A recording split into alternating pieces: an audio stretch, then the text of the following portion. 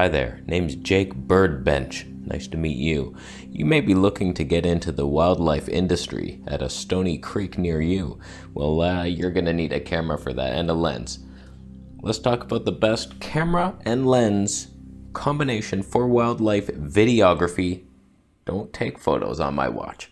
All I want is the perfect camera. All I want is the perfect camera. So I picked my top choices for wildlife videography. I have some experience now. I started off with a little Canon SX50. It was had a tiny sensor, but I got some results. Look at those results. You seeing those? And then I moved up, like Sony RX10 Mark IV. That was nice, but it still had that small sensor look and Sony disgusting color science. And since then, I've tried the Olympus, the Fuji, couple different systems, and I know stuff. I've watched videos and tutorials and reviews. So let's talk. We got the Fuji X-T4 in hand, 70 to 300. This is one of my top picks, and all the footage that I'm displaying right now over the top of this is from this setup. For the size, weight, and cost, like it's hard to beat this, but it has pros and cons like all these systems. So let's talk about the pros and cons of each of these little setups we got. So you could go Fuji X-S10, but I think you'll miss that 4K 60p. That's a good setting for wildlife because you can do like shots where you're talking with commentary, but then you could switch it to slow-mo slightly barely slowed, but decent crisp image. You missed that on the Fuji X-S10. I don't think you'll miss the 10-bit much. How far are you pushing these grades? Relax. But like better grip, cheaper, maybe slightly worse IBIS, better autofocus, and most of the features. So if you can't afford the X-T4, you go with the Fuji X-S10, but I think you'll want the X-T4 and the better battery that it comes with. There's really only two lens options. I got a comment this morning saying like, nice try buddy, why don't you use a better lens for video wildlife? I would have done better. you got the 70 to 300, which was that. Decent, it's not heavy. Like I could carry that all day long. You don't really notice it. This is like a sweet spot. You wouldn't want to go too much heavier if you're being real with your life. So this or the 100 to 400, I can't believe how much of a difference there is in weight and price. I don't think it's worth it. Now that I think just for 100 mils extra, we're talking 588 grams for this lens versus 1375 grams. And for those of you Yankee doodles who don't know what a gram is, one pound is roughly 454 grams, so keep that in mind. Okay, you'll do the math. Oh, 2.6 pounds, you suck. So if you're debating between those two lenses, I just, I can't picture ever wanting to bring the 100 to 400 due to the girth, the girth of it. Like this, the 100 to 400 will deter you from even leaving the house. That's how bad it is. It's barely different in image quality, a slight edge. Autofocus about the same, stay worse, it's like this is the sweet spot for Fuji, and it's not very long. It's 450 mil a quiv.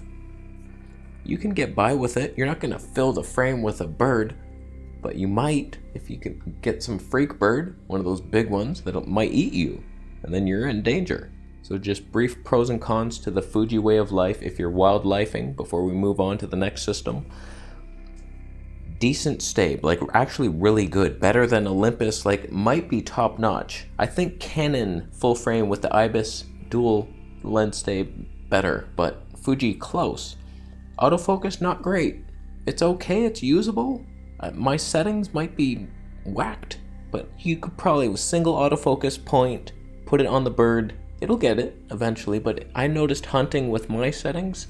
I'm working on it you can manually focus, but one of the something nobody talks about when they're reviewing gear is how is the manual focus? 70 to 300 is weird. At 70, manual focus is fine. It's just like a couple turns to get through the whole range. When you zoom into 300, it becomes like 15 turns. I don't understand what changes. Why is it so hard? So I noticed that. I had a couple shots. I'm like, okay, what the hell? 15 turns later, We got the Hawk. Barely. But Fuji's one of the few with the 240 frames per second. That is invaluable. That is beautiful. Beauty mode. So it's like, it's worth the struggles of the autofocus is just 240 frames and 4K 60p with good IBIS and decent autofocus, somewhat ability to manually focus for pretty cheap and light. Best color science for wildlife, all the different film simulations. Screw F-Log for nature life. You got the classic neg. Oh, I want to turn it now. Bleach bypass for danger mode. Fuji, like they might be top on my list. I'm debating. Totally debating diving right back into that system. Why did I sell it? All I had to do was buy the lens. Now I have to buy the whole system. Overpriced. No. Now moving on to Micro Four Loser thirds. Panasonic's out. Not only due to their autofocus, the pulsing, all that bullshit, but that stabe is actually not good.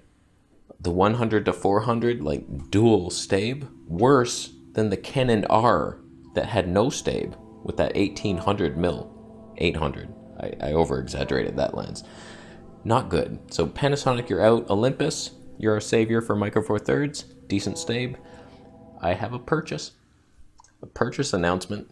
We got something on the way. It's the first thing on this list. The 70 to 75 to 300. It's coming to my house from Japan. I just bought it. We pounced. It has no stabe. It's going to be bullshit. But I'm borrowing that Fuji X-T4. Have to send it back. I have nothing now. So that, huh? It'll, it'll do us for now. So we're looking at Olympus EM1 Mark III. Just spring. Spring for the best. And we're waiting for the wow cam. We'll talk a little bit about what's coming at the end of the video. Like, oh, XH2. Pretty much just those two. I ruined it. 75 to 300 is only 423 grams. Less than a pound. That's the lightest system you can get. For the reach, a 150 to 600 equiv. 1000 grams. One kilogram, even $1948.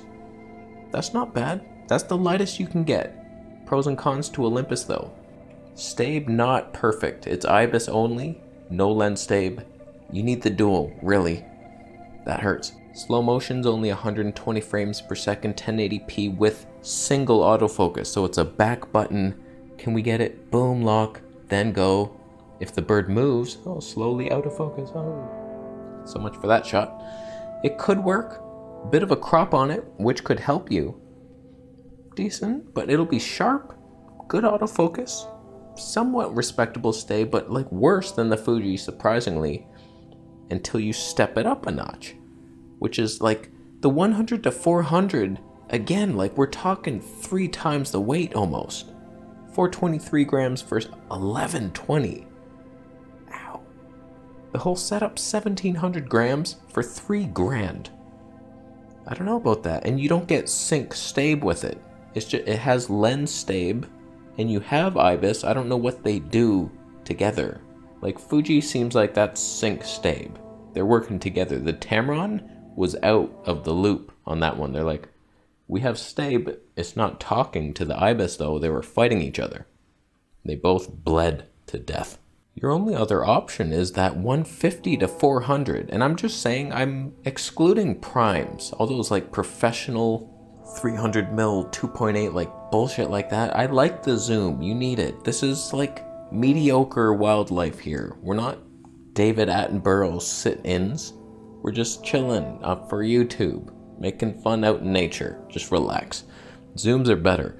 The 150 to 400, I don't understand this. $7,500 American. It's the most expensive setup you can get on my list, including all the full frame stuff. And it's heavy 2455 grams. It's heavier than most things and more expensive for Micro Four loser technology. I don't get it, but it'll be good. Like nothing has that reach. 800 mil plus a 1.25 times teleconverter built in. Sync stabe on that one. But you pay for it. Unless this wow cam is wowzers. I, I wouldn't do it. So if you're debating that system, I lean towards just sticking with the 75 to 300. We'll see what the results are like. I'll make a video review of it, but probably not like professional, but decent enough. I think again, same with the Fuji, the jump to the 100 to 400 is just too much in cost and weight. When it comes to full frame, say you're in the Sony universe. I have a Sony a7S III. Why did I look over there? It's filming me. I'm a moron, and the battery's about to die. Uh, I thought I could get through with 19% battery life. That was a lie. Your only real option is that 200 to 600, and it's the heaviest lens in the group of all lenses 2,400 kilograms. I mean, grams. Your setup's looking at 3109 grams with the Sony a7S III for $54.96. It's so heavy, like I just I can't imagine it. You're not gonna beat the quality I bet you the stabe is not perfect. It's not like Canon level stabe. But man, 200 to 600 full frame look, 240 frames per second with autofocus, not bird detect. You have to go up to the ZV E10 to get that, apparently. When are we getting that firmware? What the fuck? Now the a7S III probably not the best wildlife camera, but that's the one I have that's what I would use. But like A7 IV, probably better because it has 4K 60 with a big crop. But then you're not full frame, obviously, and you're holding full frame weight and you spent full frame money to get a crop sensor value. I don't know. I don't know about that. It's kind of fun that you can crop in, but if you're buying that and holding that, you want the full frame look, and then you're not getting it. So A7S III all the way. FX3 maybe. No, no viewfinder. It's actually helpful to have that viewfinder. Now that I'm doing that, it's like you can find the bird so much easier because you're like actually pointing in the right direction when it's flippy screen to the left and you're like, where is that? What? Okay, that branch is making a V there. Ah, fuck, I, where is it? You obviously lost your moment in that panic. So the viewfinder helps, a7S III. Finally, I could use that fantastic best viewfinder in the business. So that could be a decent setup. I just I can't bring myself to buy that 200 to 600. I want to test it first and see if I could even bring it somewhere. It's so heavy. The last system worth mentioning, there's a couple freak honorable contenders that we might mention later, but it's hard to even go here. It was supposed to be the R5C until the cripple hammerings just dented our hearts. That sucks. Really, I don't like Canon as an option. Say you get the R5. Amazing bird detect, eye detect of the birds. Good stabe, autofocus, like fantastic, but the files, can you even edit them? I can't. That's a deal breaker for me. The R5 and R6 have uneditable files. That is unfortunate. So what are your options? The R5C, you lose the stabe. And I've done the test with the 800 mil Tony 11, and it has stabe. With the EOS R, which only had digital stabe, it wasn't good enough. It was shaky. It was somewhat usable, but not handheld. That's what you want to be. You don't want to be out in the woods with a tripod. Bringing a tripod, or you, how'd you even get to the woods? You should have rode a bike or something asshole. How you tripod on a bike? Give me a break. So if you have a supercomputer built by your neighbor's autistic nephew, that somehow he made, made it with Legos, then okay, R5, and you get the 100 to 500. We're talking a total weight of 2108 grams, comparable, somewhat, it's almost the same as the Fuji with the 100 to 400. It's too big, it's too stupid, but you have full frame now. That's the ultimate, that's the goal. Or you get the 100 to 400. This is a budget lens. It's very light, 635 grams. Your total weight would be 1373 grams. That's comparable to the crop sensors. A couple hundred grams more than the Fuji. It's totally doable. But if you're on the R5, that's only 400 mil. That's not much. You're not going to fill a frame with a damn thing. So, but life hack, you get the EOS R. You could do this. We're talking 700 mils in 4K. Stabe won't be that great, but somewhat doable. And if you go enhanced Stabe, 1000 mils. You have a 100 to 1000 for almost the cheapest and lightest of this whole group. 1295 grams. 2348. Probably cheaper. Used EOS R? No one's offering me a deal. But you could find one, probably. It's just then you don't have any slow-mo. It's 720p manual focus only. That's gonna hurt. Bad. It's not great. It's not even better than the Fuji at that point. I would lean Fuji, unless you're already in the system of Canon, and that's a sad joke if you are. Now just a couple honorable mentions. I'm sure you could get by with some sort of Nikon Z50 with that new 100 to 400. I don't I doubt the Stabe will be good enough. With the Z6 it would be, but then you're only 100 to 400. Kind of gross. You could go something stupid like the C70. You get the crop, but then your Stabe is similar to an EOS R and your autofocus is worse. And the R5C, same autofocus as the C70, cinema level, should be better, but it's not, it's worse. Interesting cripple hammer. Thank you Monkey Pixels for pointing that one out. Sony APS-C has too much rolling shutter in my opinion. You're just gonna get pure jello footage. Otherwise, that 70 to 350 might be decent. With the ZVE 10 and digital Stabe, that's bullshit. There's no viewfinder. A6600, it would suck. So to sum it up, there's all the weights and the cost of what we have now, and then we'll talk about what's coming in the future. If it's me, I want the Fuji for that 240 frames per second and the magical Fuji look. I prefer that good Stabe, I like it. I prefer it over the Olympus that I just bought, but that was a much smaller investment for me. It was like 400 and probably 50 more for the custom fee from Japan. So 450 Canadian for a lens that's 150 to 600. It's like, okay, I'll dabble around in that, compare it, might have to sell it off. But I would probably lean XT4 70 to 300, hoping that the XH2 just solves all our problems. Better autofocus, 480 frames per second maybe. Stacked. Just fix your problems, basically. Make manually focusing easier, and autofocus much better. Animal eye detect. If you can't get the Fuji, I lean Olympus, just because they're also cheap and good stabe, very light, even lighter. But like if you push up to that 100 to 400, now you're heavier than the Fuji and more expensive. And you might have to be there. I don't know what that 75 to 300 is going to be like. So I don't know. If you're a bodybuilder with a car and nothing else mattered, just image quality, then the Sony way, I would prefer it. If I was just driving to a spot, and then I pull out my camera and we go for a walk, and yeah, it's heavy, but we're going back to a car.